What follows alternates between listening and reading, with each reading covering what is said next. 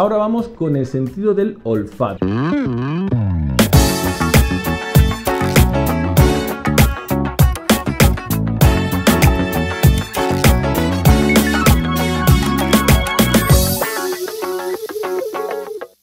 El sentido del olfato también es un sentido muy importante.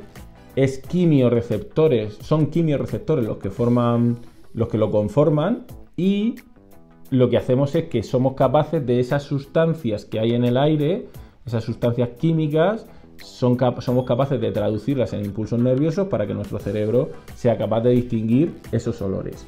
El sentido del olfato y el sentido del gusto están muy relacionados.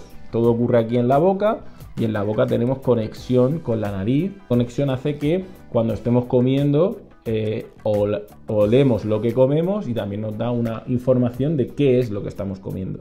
Hay un experimento que, podemos hacer que es comer un yogur natural oliendo una fruta.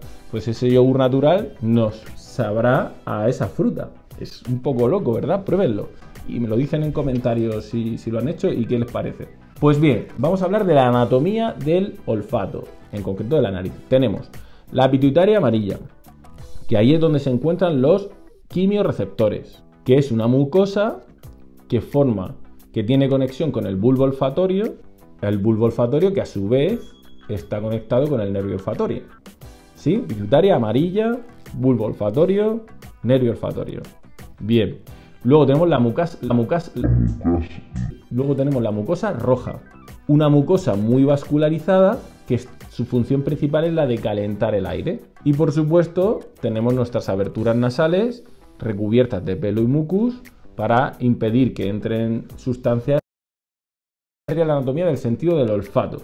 Súper sencillo. Entonces entra el aire, el aire contiene sustancias químicas que en la mucosa eh, se disuelven y los quimioreceptores reciben el estímulo, lo transforman en impulso eléctrico que va al bulbo olfatorio y del bulbo olfatorio va al nervio olfatorio.